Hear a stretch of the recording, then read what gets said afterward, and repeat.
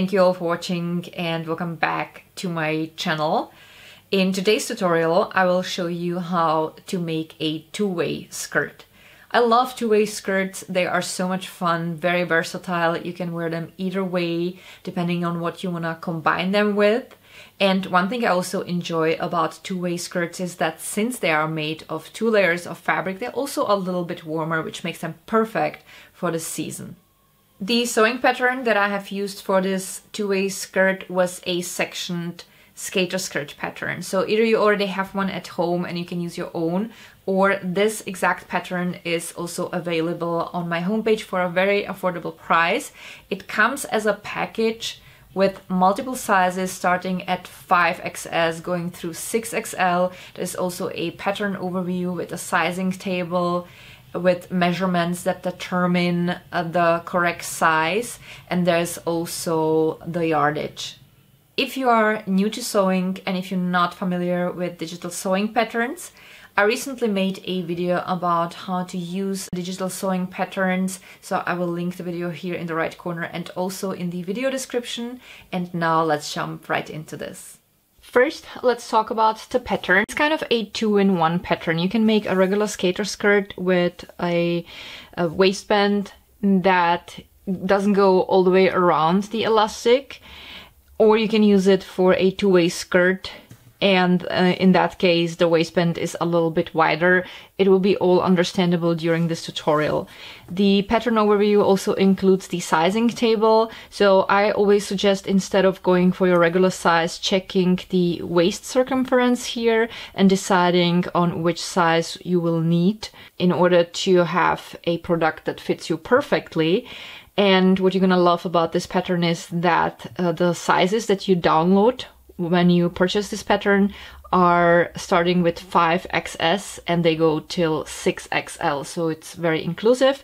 And you have here an overview uh, for the skater skirt. It tells you how many pieces of which pattern part you will need and it also tells you that you're gonna need an elastic band and uh, then in the brackets, it's always the amount of pieces you will need for the two-way skirt. So that makes it very easy. And uh, it tells you also the yardage. I just realized I have a mistake here in this calculation. So before I upload this video, I will fix it. But uh, then you can go by the amounts here. And it also informs you that the pattern includes seam allowance and it tells you how long the skirt is in the back. So depending on what size you're gonna make, you might wanna make the skirt a little bit shorter, so you basically just shorten the bottom. Or if you want, you can make it a little bit longer, so you add a little bit here on the bottom. So now let's have a look at all the pieces that I cut out of the various fabrics that I'm gonna use for today's two-way skirt. I laid out all the pieces the way they will be put together. So on the top row, we have the front part, which is folded in the middle. Then we have the side sections and the back part. Um, that is also folded in the middle.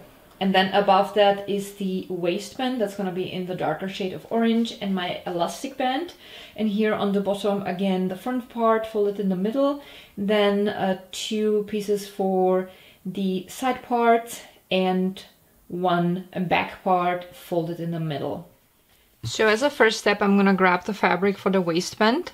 So the wrong side is here facing up and I will fold it in the middle and I will pin together the side at an angle.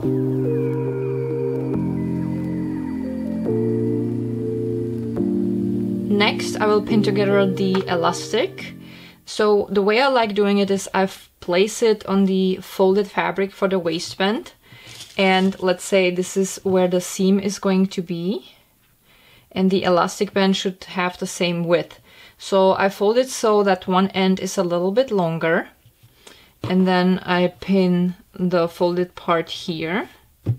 And then I fold it over so that this end is aligned with where the seam is and that way the elastic band will have exactly the same width like my waistband. And that's really important in order to get a really good result. I will sew this end together with a simple straight stitch And for the elastic band, I will sew this together here where the end of one layer is with a very dense zigzag. And then I will also sew these ends together and then this side. So everything will be very securely sewn in place. Now let's have a look at the other pieces for the skirt. Now let's start with the back part of the skirt. So both sides are equally long, but when you look at the side part, one side is a little bit longer and one is a little bit shorter. So what you want is the longer side uh, to be aligned with the back section, but you also want to make sure that the wrong side is going to be facing up. So this is for this side, so I'm just gonna pin this in place.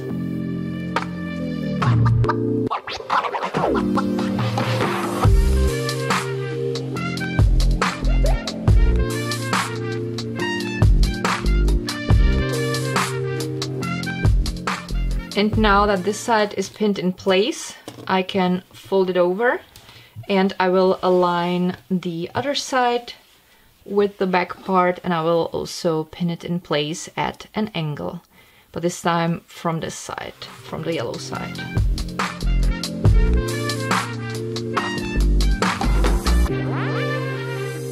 Now I will grab the front section, so I'm gonna place it here on the table so that the right side is inside and the wrong side is facing up. It's really easy to see on this fabric with the print and I will simply pin it to the side sections.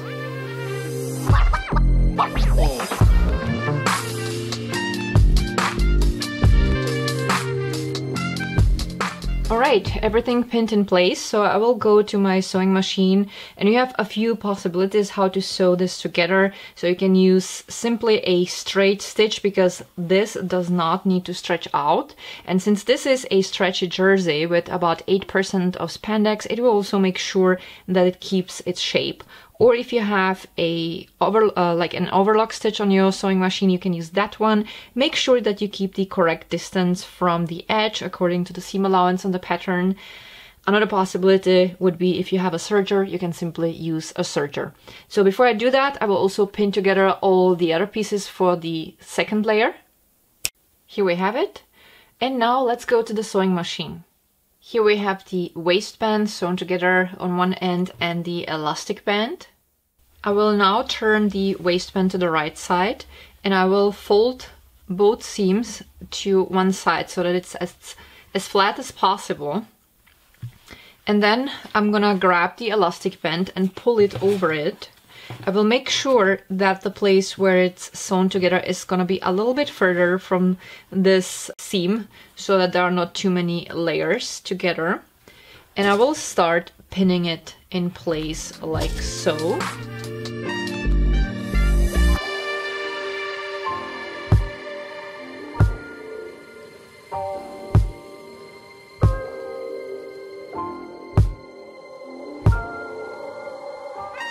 And one more thing I will do, I will fold the other side so that I have the seam on one side and I will mark here the middle. Uh, I want to have the seam exactly in the center of the back part. So I'll make here a little mark with a little cut. So that's gonna be the mark where it's gonna be aligned with the center of the front parts of the skirt. So now let's have a look at the skirts. Oh, and I forgot to mention that I'm gonna sew this in with stretchy overlock stitch. I will be sewing from the side where I have the elastic band and for that I will use a black thread and from the bottom I'm gonna use any leftover bobbins that I still have where I have enough thread without irritating my sewing machine because sometimes when you have only that little thread on a bobbin some sewing machines start to do weird things. By the way, if you need to learn how to fix faulty stitches, I have a video about that, so I can link it here in the right corner. And now let's have a look at the skirts. Here we have the skirt with yellow and with orange in the back. So what I did was when I was done with sewing all pieces together, I folded always the seam to one side and I have sewn it in place. And because I have a center part, I made sure that both seams were facing inwards, like towards the center and I did the same on the back. And then I have sewn through the edge with a straight stitch only I increased the length. I did it a little bit differently on this skirt. This time I made sure that the seams were facing outwards because once I will align both skirt layers together, there would be too much fabric. So this way, when I align this, I will have one seam on one side and one seam on the other side. It's just gonna be so much now nicer to sew this together. And I have sewn through here with black thread, again a little bit increased stitch length, regular straight stitch. So now all these seams are sewn in place, it looks neat. And what I'm gonna do now is I'm gonna grab one of these two skirts and I'm gonna flip it to the wrong side. And now I will grab this skirt with the yellow sections and I will pull it over the other skirt like so so that the right sides are always facing each other. And I will make sure that I put in a few pins here where the seams align. And this is what I was talking about. Here you can see that it's really nice and flat because on the orange black skirt the seam is facing into the opposite direction than on the lighter skirt so I'm gonna put pins in where all the parts meet on the top and that's enough because I only want it to be held in place, but I'll be pinning around the entire bottom edge then. So let's do this first.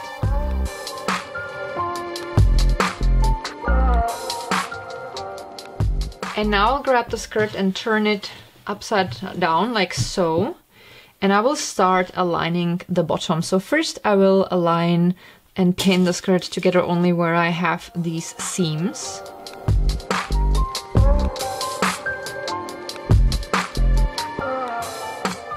And now for this step I'm gonna need a little bit more space and my sewing table is so small so I'm just gonna explain it and I'm gonna do it then on my floor. So I will smoothen everything nicely and I will make sure that the seams are nicely aligned so that the skirt doesn't wrinkle.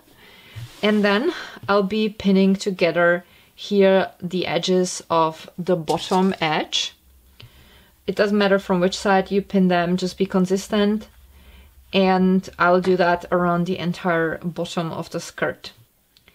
But before you do that, you definitely have to check whether the skirt is nicely flattened so that once you turn the skirt to the right side, that you don't end up with one side being a little bit shorter and pulling on the other side because these parts need to be exactly equal in order to get good result. So I'll do that and then we'll take it from there.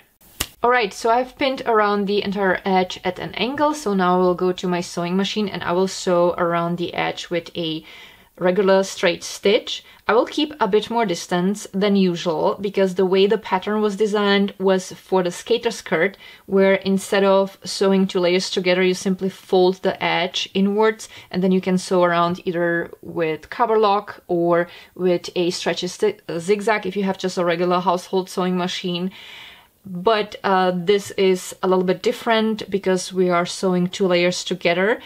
So in order to have the very same length like I would achieve with my skater skirt, I have to sew a bit further from the edge. So in this case, it's gonna be two centimeters. However, if you don't mind that the skirt will be one centimeters longer than the original pattern, then you can go ahead and sew in the regular distance from the edge. So let's do that. Alrighty, so I have sewn around the entire edge and now I will cut back the seam allowance because that's quite a lot of fabric. So you can grab, of course, regular scissors, but I will uh, use these zigzag scissors because I simply like the way it looks. And I'm gonna cut about the half of the seam allowance away.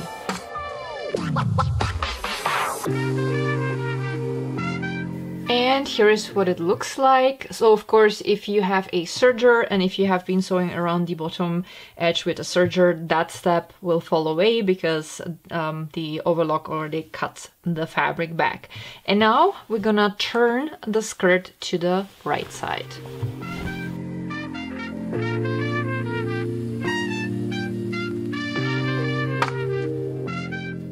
And the way I like doing it is I will always go to the places where I have the seams and I will make sure that I flatten everything and I'll grab my pins and I will also make sure that the way I roll the fabric in place so that I can't see more of the other pattern from one side. So basically, no matter how I turn the fabric, that I will always only see the color where I'm at. So, and I will start putting pins in already. And when I'll be done, you can simply go uh, to your iron and simply press and that will be it. I personally like rather having an additional seam in order to secure everything in place. That's just my personal preference, but again, you don't have to do it. If you straighten everything and make sure everything lies flat and nicely, all you have to do is to go ahead and iron around the entire edge. You really want to take your time with this so that you get a result that will be as neat as possible. So I always like rolling the fabric a little bit. When I put the pins in and I, I like turning the fabric to the other side just to make sure that I can see the other fabric from the other side. And then I keep putting my fingers in, flattening the fabrics around the seam and doing this as long as necessary in order to pin in place the entire edge. And when I will be done, I will go ahead and I will sew around the edge with a regular straight stitch because this is again something that doesn't have to stretch out so a regular straight stitch will do. So basically I made sure that you don't need a serger for this tutorial, so if you have just a household sewing machine, you'll be fine, but I probably already said that.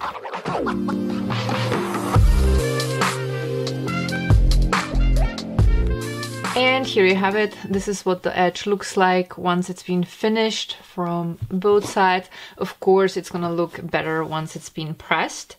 And the next step is now to pin the waistband in place. So I already pinned here the places together where we have the seams and I also made a little cut on the center of the front and the back because that's gonna make it easier to align the waistband. And since the waistband is one waistband for both sides, it does not really matter from which side you're gonna be pinning it and sewing it in place. I've decided I'm gonna do it the way that the light skirt is inside, so I will turn the waistband to the right side like so. I will align the seam of the waistband here with the center of the back part and I will pin it in place as always at an angle. Now I will grab the skirt and turn it around like so and I will grab the waistband and make sure that I have the center that I marked with this little cut and I will align it with the center of the front part and I will again pin it in place and I guess the rest is pretty self-explanatory. I have to pin it to the complete edge. So I will make sure that all edges are neatly aligned and I will keep putting in pins at an angle. So I'm working from the inside of the skirt. That's my personal preference. That's how I like doing it.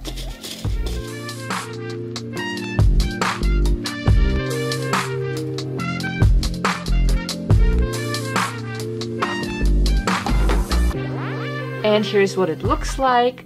So I will go to my sewing machine and I will sew the waistband on this side with stretchy overlock stitch, which is exactly the same stitch that I have used when I have been sewing the elastic band on the other end of the waistband.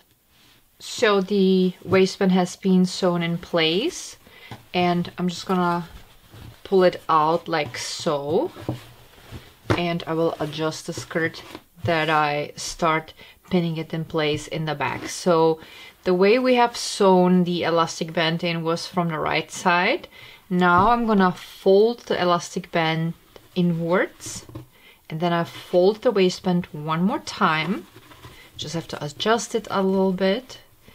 And then you will align it with the seam and that's exactly the width of waistband that you need. And this is a little bit thick here, so it's a little bit tricky to pin it in place here in the back.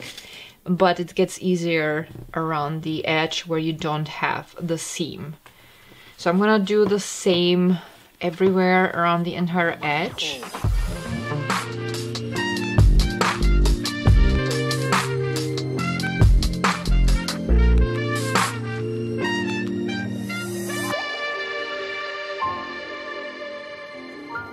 So, and here's what it looks like once it has been pinned in place. You just have to make sure that it almost covers the seam where you have sewn the waistband on. So when you're gonna be done that you can't see it. So I personally rather put in more pins. You can always pull them out while sewing, but just to keep everything in place because this should be really neat once you finished.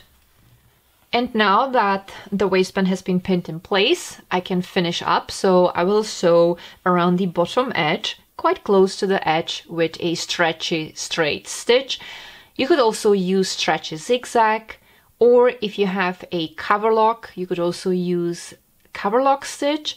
So for example, you would have from this side two seams and from the other side the overlock side let me show you what it looks like. So you would have from one side this and this would be on the other side. So that could also end up being quite decorative. That's of course up to you, but again, I decided to use stretchy straight stitch because it's gonna be pretty simple. And here we have the final result. So here we have the orange and black side.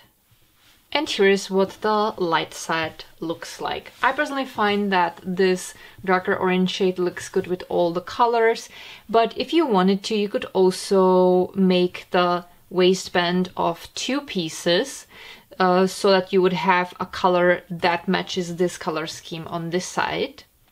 So I have used this pattern. This is the white elastic band that has quite a lot of seam allowance on one side. That's because that's where I have sewn on the elastic band and then I folded it inwards.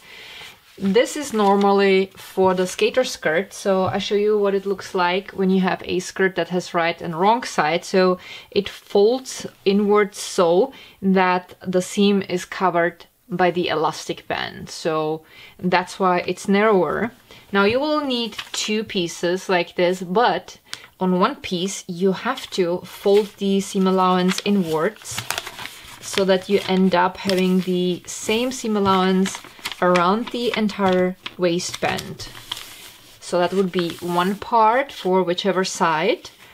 And then on the other side, you would keep the pattern as it is. Again, because on one side you will sew in the elastic band and when you fold it in, you'll need more seam allowance. And that's an option too. So you can choose whatever works for you, whatever looks better for you. I personally wanted to have a different color, especially also because this color matches this orangey shade on the sugar skull, so I thought, why not? It's gonna be a little bit more colorful.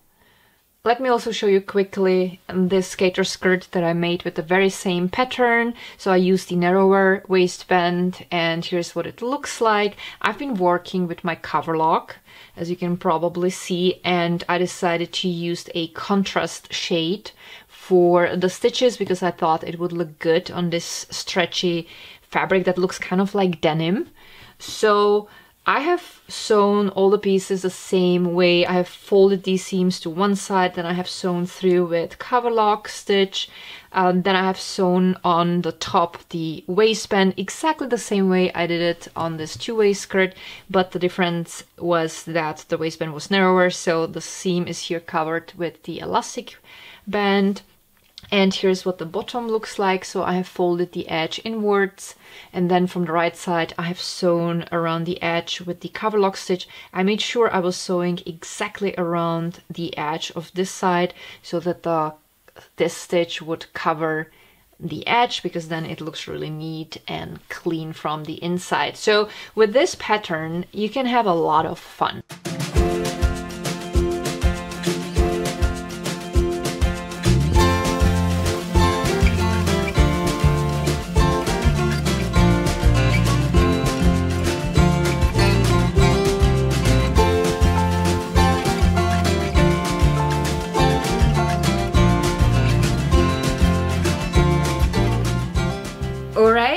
So that's how I made my two-way skirt. I had a lot of fun with this project. And one thing that also made me happy, in addition to the fact that I was making a new piece for myself, was that I could use up some scraps of fabric. So all these pieces of fabric on this side are fabrics that were laying in the box lonely and they were just not enough for an entire piece on their own, but all together gave me this fun layer. And I've been wearing the skirt turned to this side quite a lot in August because I have matching tops, several actually. So one of them is made entirely of this fabric, one has orange yellow and this fabric also, and one is apple green on the back and has this sugar skull print in the front. And either of these tops looks amazing with the skirt and people would literally stop me on the street and compliment me. So if you have any scraps of fabric that are a little bit bigger that they would be enough for each section of the skirt and that they go well together definitely give it a try. You're gonna have a lot of fun. You can use up some fabric and have a really original piece as I said at the beginning, the pattern is available on my homepage. And if you guys are going to make yourself your own two-way skirt and if you're gonna post photos on Instagram, please tag me. I love seeing what you guys created. It always makes me so happy.